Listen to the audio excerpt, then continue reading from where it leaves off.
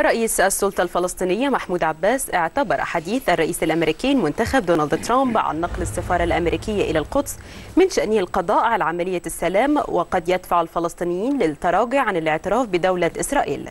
في المقابل قال سفير إسرائيل لدى الأمم المتحدة أنه يخشى قرارا جديدا لمجلس الأمن يدعم الفلسطينيين. وكان وزير الخارجية سامح شكري توجه إلى باريس لرئاسة وفد مصر في مؤتمر السلام في الشرق الأوسط بحضور 70 دولة برعاية فرنسا. أستاذ محمد ما توقعاتك لمؤتمر غد في ظل الخلاف بين إسرائيل والولايات المتحدة؟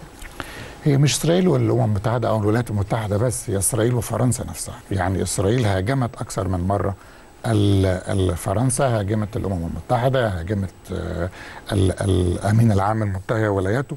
قد يكون المؤتمر فرصة للأمين العام الجديد. أنا لو سألتني اسمه أنا مش لسه مش عارف اسمه الراجل البرتغالي الجديد. تبقى ملامح لأول مرة نشوف توجهه إيه.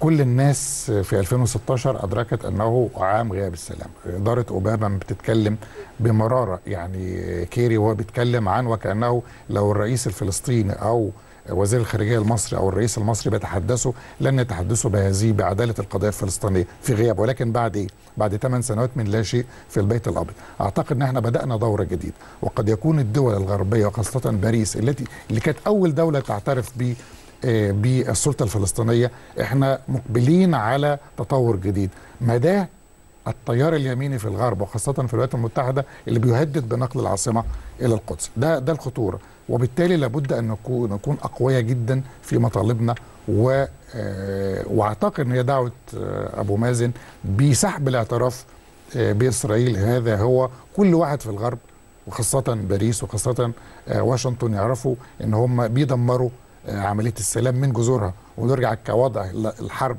مرة أخرى.